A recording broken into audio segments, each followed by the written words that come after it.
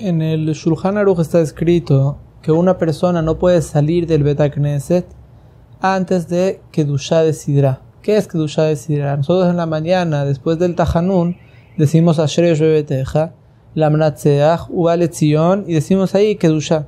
Dice el Shulchan Aruch, no se puede salir después de esa Kedushá. ¿Cuál es el motivo para esta alajá? Hay dos motivos.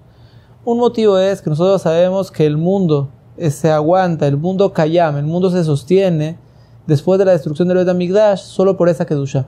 Es tan importante esa Kedusha que es lo que sostiene al mundo. Si es así, una persona no puede salir antes de eso y dejar de sostener al mundo, digamos así. Entonces, claro que la persona no puede salir del Betacreset antes de decir la Kedusha de Ubaletzion. En el Mishnah viene y dice otro motivo más. Está escrito en el Shuhan Aruch que la Kedusha de Ubaletzion no se puede decir sin miñán. La persona necesita tener miñán para decir. Si es así, ¿cómo la persona va a salir del Knesset? Se va a quedar sin miñán, no va a poder decir la que duchado va lección. Entonces, por eso no se puede salir antes de eso. ¿Cuál es la alhaja en el caso que la persona está en un miñán, que corren demasiado, leen muy rápido y él no alcanza a leer tan rápido? Él no llega con el Hazana Kedusha.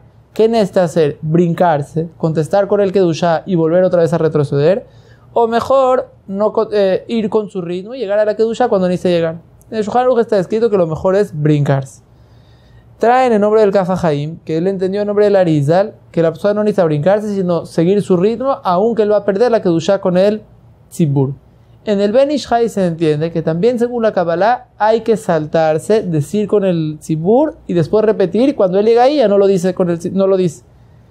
Según la alhaja, por lo cual que tenemos la alhaja del Pshat, claro que la persona necesita saltarse, que no, no puede seguir, si no necesita saltarse, el, el no ha llegado, él se salta llega, dice con el Hazán, repite después de donde él estaba, y cuando llega a ese lugar no lo dice porque la Kedusha ya la dijo con el Hazán. Kedusha es Kadosh, Baruch, Imloch, con el arameo de en medio.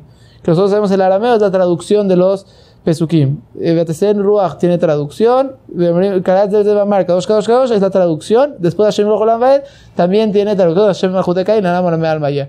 Todas esas partes de, Pesukim, que son la Kedusha del lugar lección, es lo que la persona necesita decirlo con el Hazán. Según la halajá, que la persona no se, no, que eh, se salte y diga con el Hazán. Si él no llegó con el Hazán porque el Hazán corrió, se salte, conteste con el Kedusha, diga el arameo, después diga en el Ruach, dice el arameo, dice Hashem la Hashem repite a donde él estaba y cuando llega al Kedusha se la salte y así hace todo completo.